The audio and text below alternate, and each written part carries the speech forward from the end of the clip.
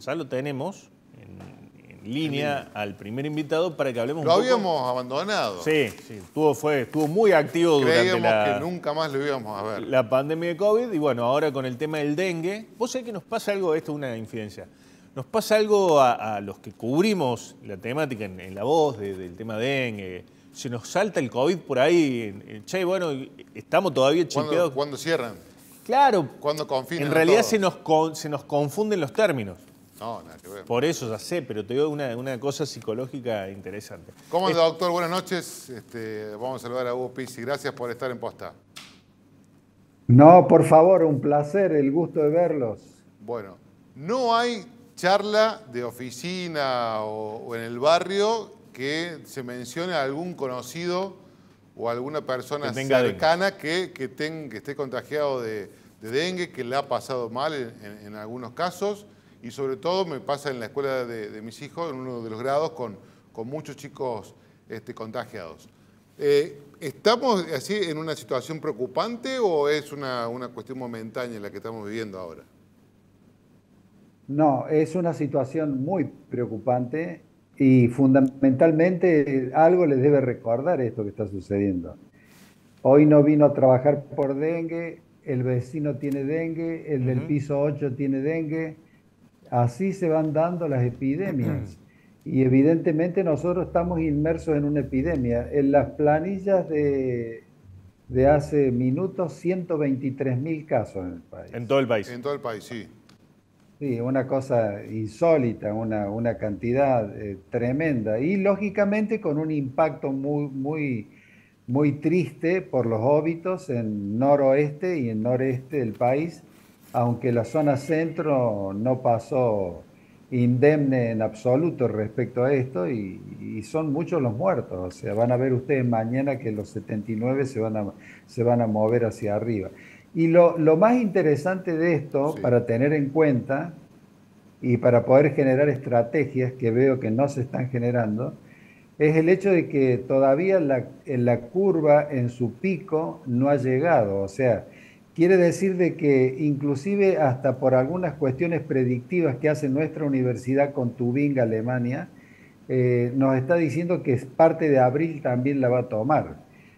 La tropicalización ha sido tremenda y la presencia de, esta enfermedad ha sentado surreales ya en todo el país.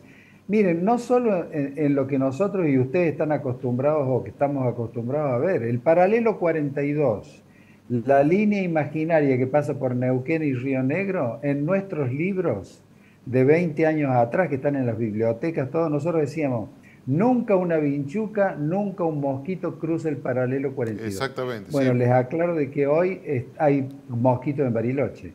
y en el paralelo 42 hay 39, 40, 38 grados de temperatura. O sea que el país está tropicalizando. Doctor, eh, usted planteaba que hay una especie de falta de estrategia. Bueno, hoy el vocero presidencial, ayer, el, vocero presidencial Manuel Adorni fue bastante eh, hasta desdeñoso con el tema, diciendo, bueno, está trabajando el Ministerio de, Salud, no vemos razón por la cual tengamos que avanzar en la vacunación, en campañas.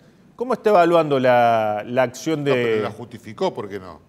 ¿Para qué vacunarse ahora si el efecto de la vacuna va a ser posterior? Le, quiero preguntar al doctor Bici otra pregunta sobre eso. Pero lo primero que le quiero preguntar es la estrategia que está abordando, cómo la está abordando el, Ministerio de Salud de la Nación. Bueno, yo creo que inclusive desde antes y ahora siempre se van detrás de los acontecimientos. O sea, es como si de pronto aquello que se armó en todas las facultades de medicina del país y del mundo, la medicina preventiva como que no existiera, ¿no? Porque casualmente este tipo de enfermedades son las donde más impacta la medicina preventiva. Mire, yo he presentado personalmente la vacuna el 31 de agosto en la biblioteca de la Facultad de Medicina de nuestra Universidad Nacional para toda Latinoamérica, con la presencia de todas las autoridades japonesas del laboratorio japonés y, autoridades de toda la zona. Vinieron ministros, vinieron eh, rectores y demás para, para hacer esa evaluación. Esa vacuna se está usando en todo el mundo, en los cinco continentes. Y quiero darles la noticia de que en este momento se está poniendo gratuitamente en Misiones, en Formosa, en Salta y en Corrientes. Por decisión de los estados provinciales. María. Pero en la ciudad de Villa María. O sea que la ciudad de Villa María ha comprado y, dentro de sus estrategias tiene para colocar la vacuna. Ahora, ¿qué es lo prioritario antes de hablar de las características de la vacuna y demás? Desde el año 97, cuando entró y hubo un gran brote en Tartagal Salta por una inundación tremenda que hubo, que fue hasta el presidente a visitar el caso, el dengue nunca dejó de crecer. Y había, antes de esta epidemia, 300.000 que ya habían padecido el dengue. Ahora esta nueva epidemia suma 123.000. O sea que yo tengo en este momento en la estadística 423.000 argentinos que ya padecieron la enfermedad. Esos son los que tienen que ser vacunados. Porque si de nuevo viene otro mosquito y le pone un serotipo diferente al primario, van a ser un cuadro mucho más grave o el dengue hemorrágico. Y eso a nosotros nos cuesta horrores sacarlo a flote. le, propongo, doctor, si podemos, hay una especie de, ping-pong con, con, cual tenemos muchísimas dudas. Primero, eh, la de Villa María sí es cierto, va a comenzar con la, con la vacunación. ¿Vale la pena a un chico de, a un chico un adolescente vacunarlo o es mejor que lo pique un mosquito? No, no, no. O sea, la vacuna tiene una gran ventaja sobre las que hemos conocido en los últimos acontecimientos. Una duraba seis meses, la otra duraba un año, que es la antigripal. Esta dura cuatro años y medio, casi cinco. Entonces la protección es muy prolongada. Y la autorización de vacuna, de colocarlas, según nuestro organismo contralor, ADMAT, que quiero aclarar una cosa con ADMAT. ADMAT es un organismo que ha resistido embates políticos y es un organismo serio. ¿eh? Entonces, eh, ADMAT aconseja lo mismo que el fabricante cuatro años hacia arriba, nunca cuatro años hacia abajo. Perfecto. Después, eso, lo puedo conseguir por obra social. De, eh, ¿Le puedo exigir a la, prepaga o la obra social que, me cubra esa vacuna? Bueno, yo le voy a contar qué es lo que tenemos nosotros como información. Hay, hay prepagas que la cubren total porque dice que es preferible antes de que tenerlo internado en una terapia. Hay cadenas farmacéuticas que hacen un 20% y hay obras sociales que te hacen un 30, un 40, un 50. Entonces la gente con mucha habilidad va unando los dos, los dos descuentos y lógicamente consigue, pero es una pena que, sea, que haya que pagarla porque si fuese una obra social, yo pensaría seriamente, me conviene mucho más tener a mi afiliado sano y, no que padezca y transcurra una patología de estas características. ¿no? Doctor, eh, esto que preguntaba Juan, yo ninguno de los dos hemos tenido dengue hasta ahora, toco madera. Eh, nos, vacunamos? ¿Vamos a la farmacia y nos vacunamos? La vacuna es para todos aquellos de 4 a 60 años, se puede usar más de 60 también, les explico después por qué Adorni dijo una frase respecto a la efectividad. Eh, pero claro, tanto el virgen de dengue, pero el prioritario al que hay que eh, acudir inmediatamente a protegerlo es el que ya tuvo un episodio. Porque al revés de todas las enfermedades, ustedes saben, si tuvieron sarampión, nunca más van a tener sarampión. Pero este es al revés, porque este es un solo virus con cuatro disfraces, entonces son los cuatro serotipos. Entonces, un día te puede el mosquito poner el 1, otro día te puede poner el 2, y en Argentina hoy transcurren con mucha velocidad el 1 y el 2, pero también se ha detectado la presencia del 3 en un lugar acotado, pero se, se, se lo ha detectado. Bien, doctor, ¿cuánto es lo máximo que debería pagar por una vacuna? Bueno, los precios internacionales son, siempre recuerde usted que son en dólares, o sea, a mí me parece que estos son precios altos para nosotros por las circunstancias, por lo que estamos viviendo, por la fluctuación económica. Me parece un precio alto, 70 mil cada dosis. Eh. ¿Cuántas dosis hay que ponerse, doctor? Dos dosis, una se coloca, supongamos, hoy, la otra en los 90 días. Pero quiero que sepan, otra de las cosas que hay que romper ese mito, que si yo me pongo la primera dosis hoy, mi organismo empieza a receptar eso, que, viene alguien extraño, y mi sistema inmune empieza suave y delicadamente al 14 o al 15 día a, fabricar anticuerpos. Un caudal de anticuerpos moderado, bajo, pero caudal de anticuerpos al fin.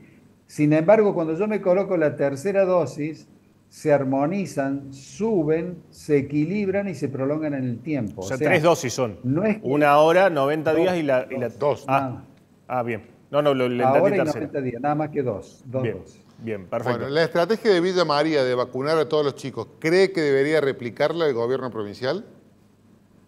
Bueno, yo soy pro vacuna y eh, recuerden que esto no lo teníamos. Y yo tuve la experiencia porque quien hizo la vacuna francesa la delineó, la estudió, es un hombre que ha prologado mis libros, o sea que nos conocemos mucho, hemos trabajado juntos, el francés eh, Gentilini. Entonces, eh, conozco eso y hay muchas cosas que los japoneses en cuanto a estrategia han aplicado de la vacuna francesa, que tuvo el problema en los vírgenes de dengue, la francesa. No en, en, la persona que ya había padecido dengue, a eso los protegió que lo hizo en toda Asia y en, toda la, en todo Centroamérica. Doctor, ¿qué iba a decir acerca de los mayores de 60? Bueno, eh, eh, no sé si escucharon la frase esa de Adorni, no hay una seguridad de la efectividad. Sí. La efectividad está dada entre lo que siempre se dijo y aceptó a ANMAT de 4 a 60. Arriba de 60, normalmente las personas mayores no tienen esa reactividad tan notoria respecto a una vacuna. No sé si ustedes recuerdan, por ejemplo, de que muchas veces la fiebre amarilla de determinada edad no se pone más y, saben que otras veces hay vacunas que no, no dan el índice de protección tan grande como eso. Ahora, eso hoy se está estudiando. Yo creo que en los próximos meses vamos a tener un resultado de eso también. Pero estoy convencido que aún más de 60 lo mismo da resultado. No dará un resultado del 100, pero dará un resultado del 80. Vamos a tener esos resultados dentro de poco. Me pongo en Adornis y ¿para qué me voy a vacunar ahora si en 90 días que me tengo que poner la dosis completa ya va a venir el frío y los mosquitos se mueren? No, no es tan real eso. Nosotros tenemos unos estudios que, hemos hecho siempre desde, desde antaño nuestra Facultad de Medicina de la UNC con la Universidad de Tubinga, que hacemos eh, evaluaciones predictivas y estamos convencidos de que esto va a tomar también abril. La curva, el pico de la curva todavía no ha llegado, falta mucho. Y no olviden ustedes que nosotros tenemos inviernos muy tenues. Y si usted tiene un invierno tenue, cualquier brote de, o cualquier golpe de calor va a hacer eclosionar a los huevos. Y vamos a tener que acostumbrarnos a vivir acostumbrarnos por no actuar proactivamente y tener un patio limpio con el césped cortado, sin yuyo, porque si no está el macho que se alimenta de jugos vegetales, sin agua, eh, poner las telas plásticas que estamos preconizando desde la universidad, telas plásticas que las mismas señoras cortan según la medida de su puerta o, o de su ventana con las tijeras caseras, y se le pone cuatro abrojos en cada una de las puntas, y usted con eso va a tener un resguardo para que no entren. Y dentro de la casa, porque cuando haga un poco de frío el mosquito entra, ahora está en el peridomicilio. Y dentro de las casas, yo he visto en el norte, ahora, hace pocos días, que están volviendo al tul, al mosquitero clásico de los abuelos, los matrimonios. No únicamente la cunita del niño ni el Moisés, sino también los matrimonios están volviendo. Y el tul viene doble ancho, es lo más barato que hay en textil y es una barrera infranqueable para pulgas, chinches, piojos, garrapatas, escorpiones. La última, la última doctor, porque se nos acaba el tiempo y también lo queremos liberar. Repelente. ¿Qué tan efectivos son y cada cuánto hay que ponerse? El repelente es muy efectivo, es una droga clásica que se usa en el mundo que se llama D-E-E-T. Eh, como están tan caros, nosotros estamos enseñándole a los centros vecinales que pueden comprarlo en la droguería, diluirlo con la ayuda de alguien que entienda y los 5 mil u 8 mil pesos te van a salir 200 o 300 pesos si vos llevas la botellita al centro vecinal. El repelente... Mañana, creo que mañana en... Ya, vamos a pasar la información, pero mañana en eh, la municipalidad va a dar una clase para, para preparar repelente casa. Perfecto. Eh, me imagino que debe ser eso. O sea, se, voy a la droguería, compro el, compro el. La monodroga. El, la monodroga, el la líquido, droga ¿cómo pura, se llama? Ajá. Se llama DET, se escribe D-E-T. Pero quiero decirles que cuando hay tantos comentarios respecto al repelente es porque no lo usan adecuadamente. Vos tenés que fijarte qué dice el fabricante y ADMAT. Si te dice cuatro horas, a la hora cinco te van a picar.